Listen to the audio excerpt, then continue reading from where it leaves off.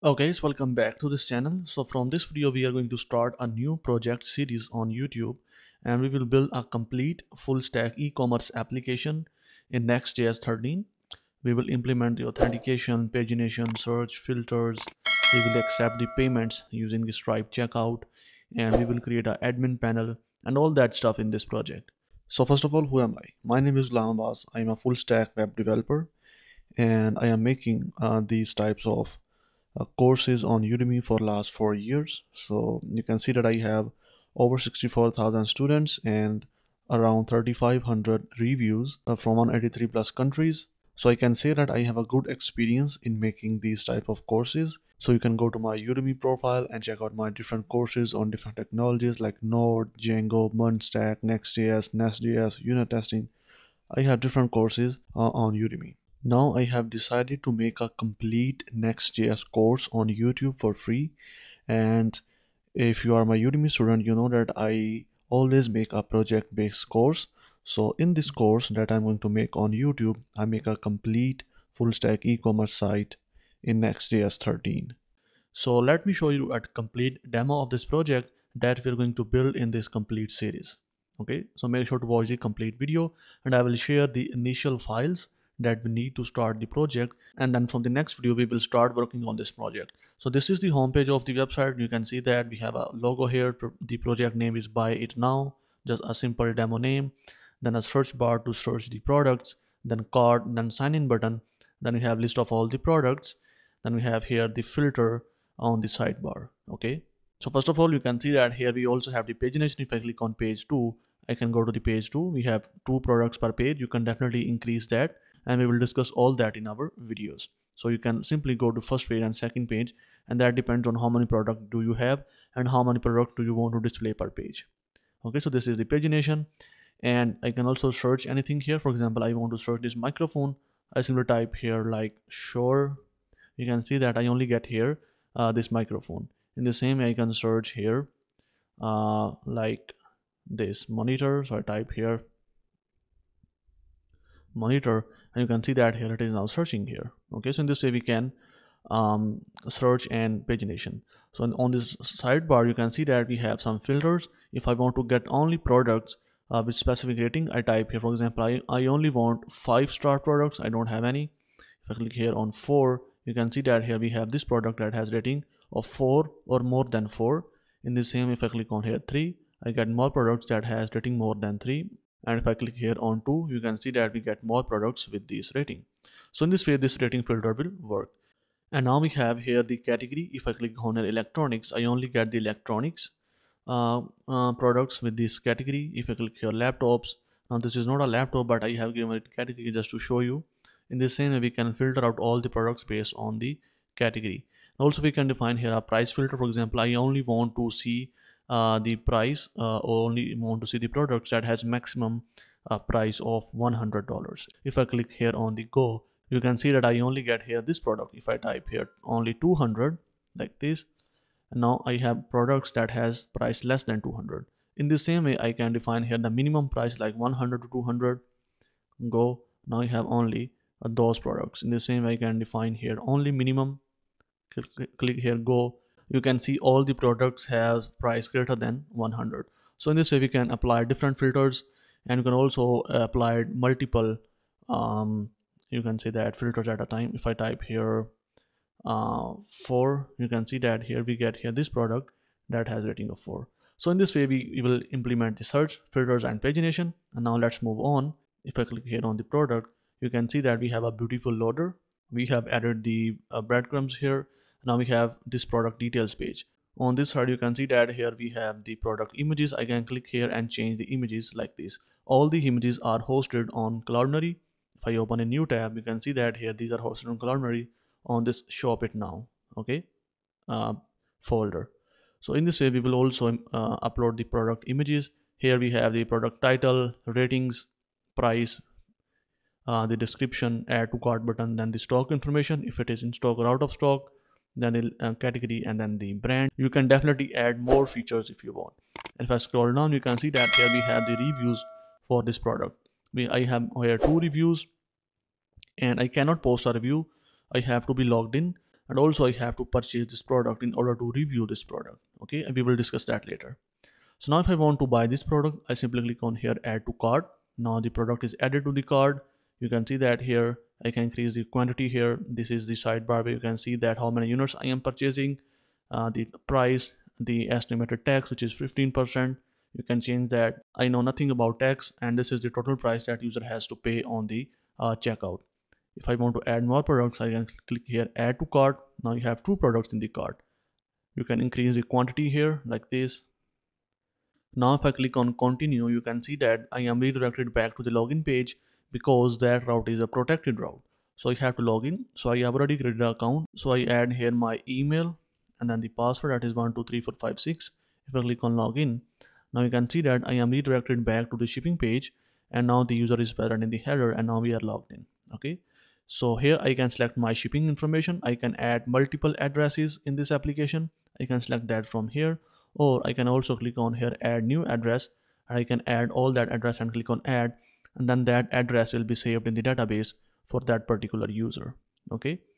So now I can simply select here the address. So this is the summary this is the amount this is the tax this is the total amount. These are items that I am purchasing. So now if I click on here checkout it will take me to the uh, please select your shipping address. So I select here this address actually click on checkout.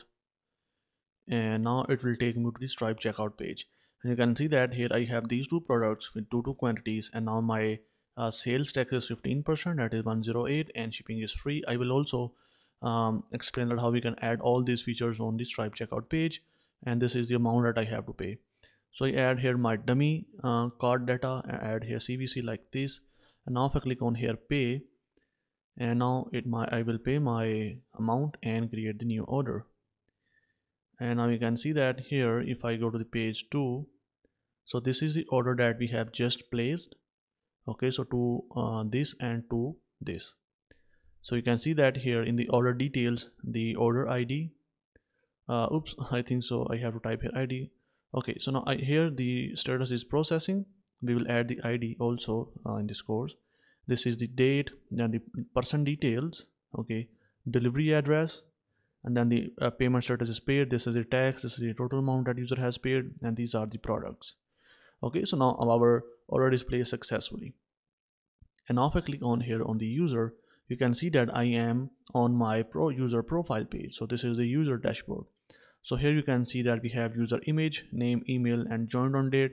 Here I have list of all the addresses that user has saved. I can click here also to add a new address and you can save that also okay? So these addresses will be displayed on the slash shipping page all right? So this is our profile page. Now here I have the list of all the orders. So these are my previous orders while testing the project. Here I have also uh, my new order. Okay so we will display the orders also of the user. Then here we have the update profile. The user can update his profile.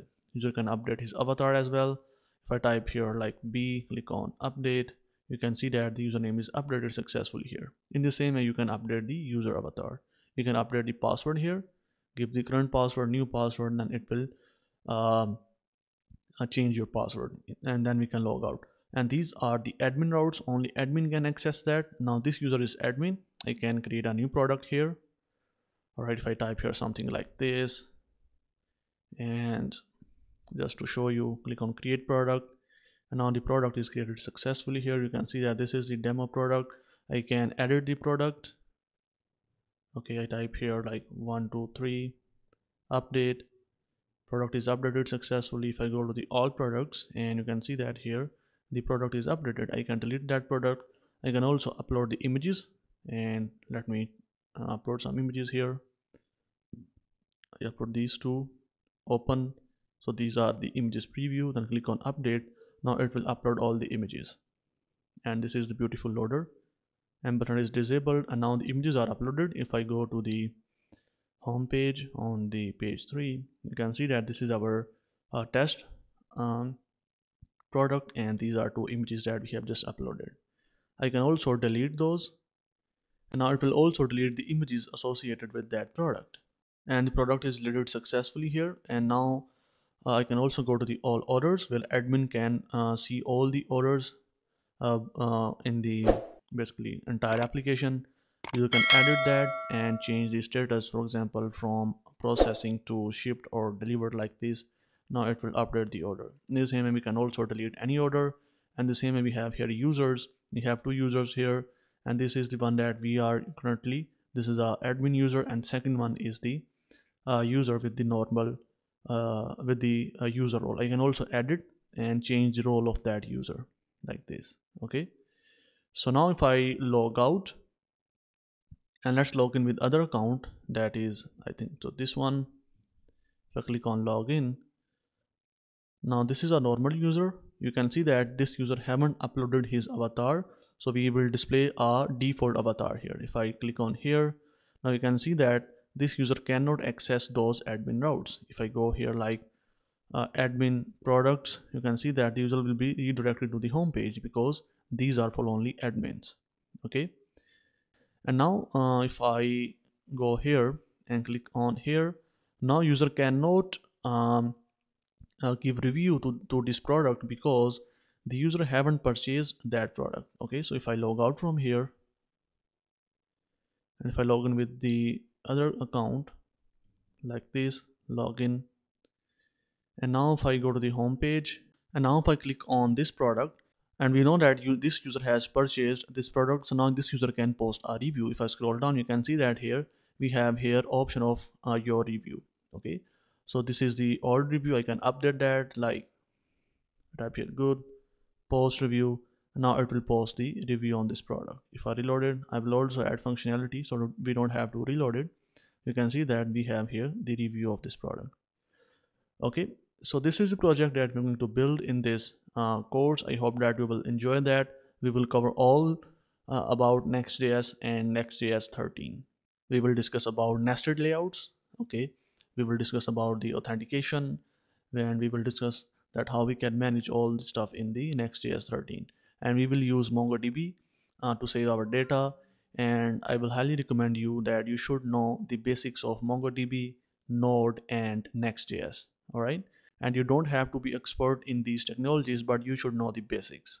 Okay so this is a complete demo of this project and you can also see that the cart is cleared after the user has placed the order. Okay so now uh, let me give you the initial files that you need in this project to follow along. So if I go to my github profile um, I type here open my github profile here. Let me show you the github repo that you need. If i go to the repositories click here on buy it now. This is the project git repo link uh, sorry repo. And here you can see that I have a branch with the name uh, 001 buy it now components. So these are static components that you have that you should have in your uh, computer in order to follow along. If I open that here so th this is what you will get after downloading or if you clone that repo in the source this is a simple react project that contains all the components that we are going to use in this. Course because I don't want to type JSX it will take a lot of time so I will give you the static components. If I start this project just to show you that these all are static components and I will use tailwind in this project. So this is you can see that this is the home page so this is the component list and you can click on each component to check about that component and these all are static components okay? So these are all the components that we will use in this uh, course uh, and i will discuss all about these components one by one then we will use them okay? So make sure that you go to this link. I will also add this link in the description of this video.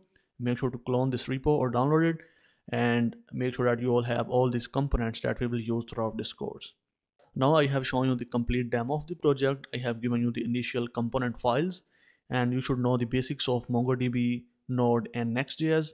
From the next video, I will properly start working on my project.